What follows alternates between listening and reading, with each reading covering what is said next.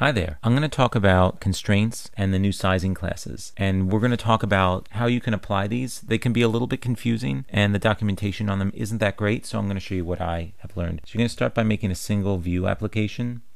We're just going to call it skip layout and we'll click create. I'm going to replace a project that I already created. This is going to be available for universal, meaning iPads and iPhones, so that we can apply these sizing classes to everything. Device orientation is okay and we're going to just do everything in the main storyboard today. You're going to apply six different UI views to this screen. So first we're just going to grab a view.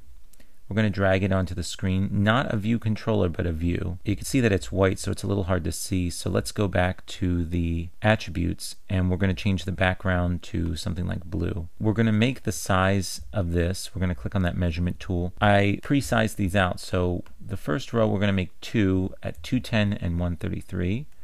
So we're going to do 210 and 133. I'm going to pop that at the top and we'll do that as well. And we'll just copy and paste that. We'll drag it all the way over here. And that way we should have a 20 point gap. Let's do the bottom row first. So for the bottom row, we're going to do 440 by 133. So that's good. And then we'll make that something like yellow click the attributes, background, yellow. And then for the three middle ones, we'll just grab this one. And we need to make that 133 by 133, just for this example. We'll put this one over on the far side, and we'll make this one right in the middle and we'll select all of these and we'll set the background to be, let's say, some sort of red. So we're going to apply some constraints to these views so that on any device they'll stretch. So if you were to run this right now for an iPhone 4S, you would see that it does not look right. And you'd be kind of shocked. You'd be like, what the heck happened? You could see that you have everything kind of running off the side. And the reason is, is because what we designed this for is a size class of width any and height any. And the way you can tell that is by looking down here, you see WNE and HNE. And if you click that, you can see these different size classes that are available here. You have three different size classes. You have compact, regular, and any. Compact with compact height will apply to iPhones in landscape. Compact with regular height will apply to iPhones in portrait. Regular width and regular height will apply to iPads in portrait or landscape and any width, any height will apply to everything. So make sure that you start with your size class at any width, any height, because if you start with a size class of compact or regular, then everything that you do will only apply to those devices with those size classes. So if you start off with everything in compact with compact height and you go to switch to an iPad, nothing will appear because you've applied everything to only devices with size class compact with compact height.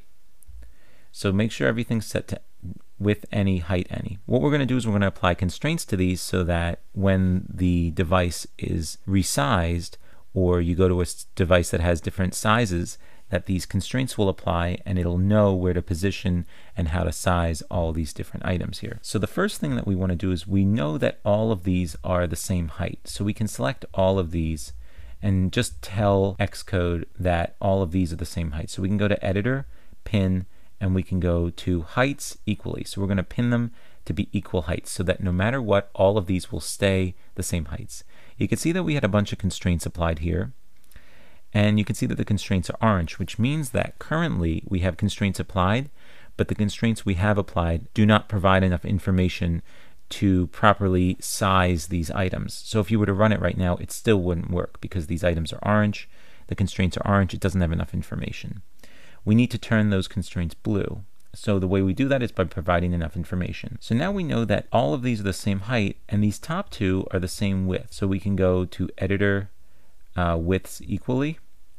We can go to the, the middle three and we can go to editor pin widths equally and we can do the bottom one except there's only one of them so we don't need to constrain it to any width. The next thing we can do is we can tell it about this leading space here on the left hand side that we want that to be applied as well.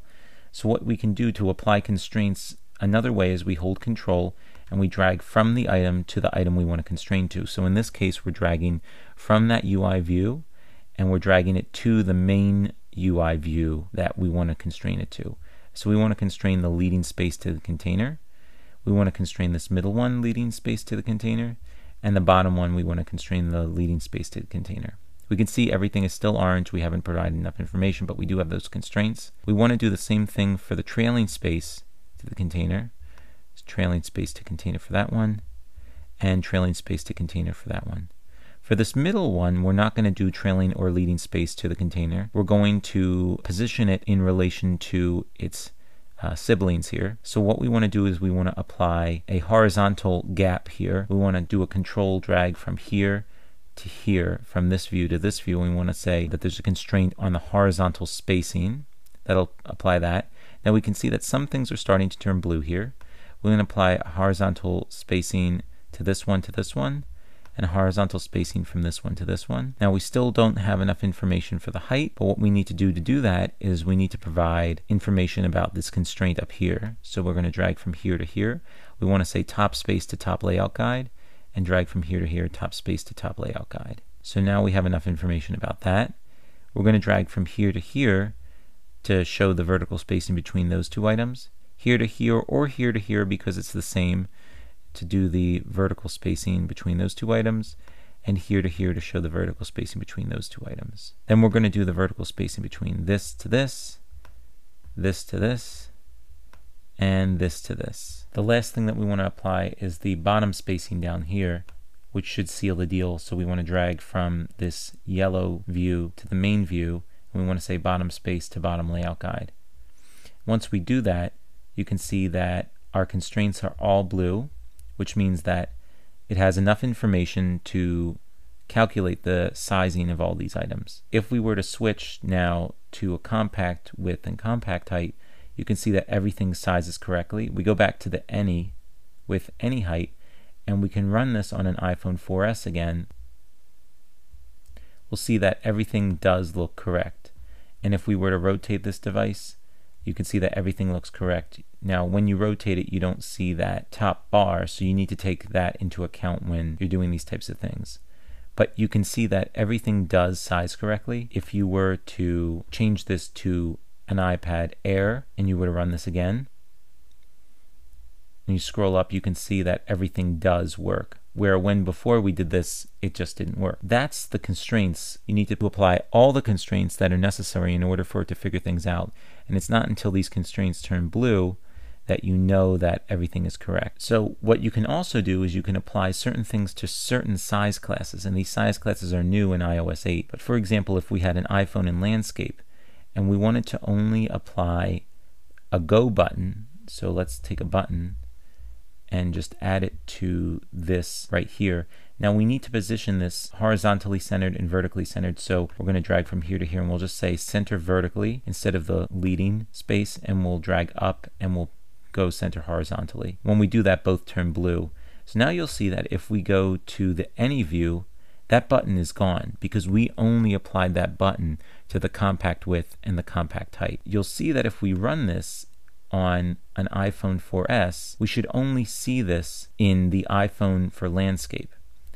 So if we run this right now, you can see that the button is not there, but as soon as we rotate it this way, you can see that the button is there.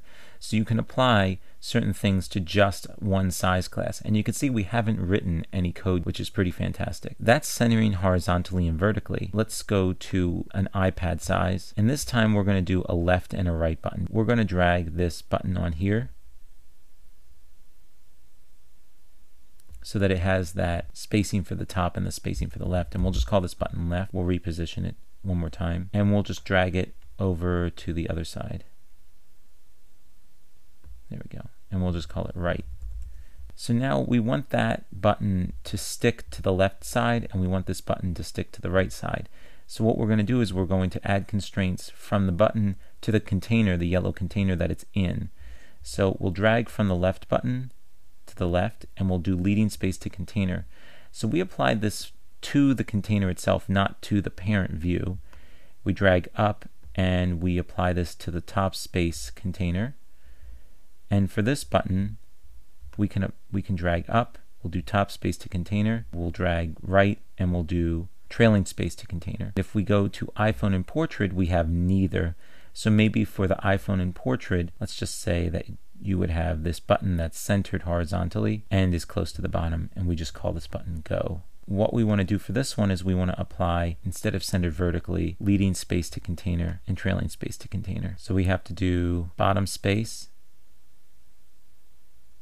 We added just the bottom constraint. Now if we were to rotate this, we could see that we have the button, and this one we have the go button. And if we were to run this on an iPad Air or any iPad, you can see that we get the left and right buttons. And if we are to rotate this, we also get the left and right buttons. Using those size classes, we can apply lots of different constraints to all the different size classes, and we haven't even written one line of code yet. So that's just a quick introduction on constraints. Now, if you go to skipcasts.com, there's going to be a pro tutorial with more in-depth information into constraints. Thanks for watching. See you next time.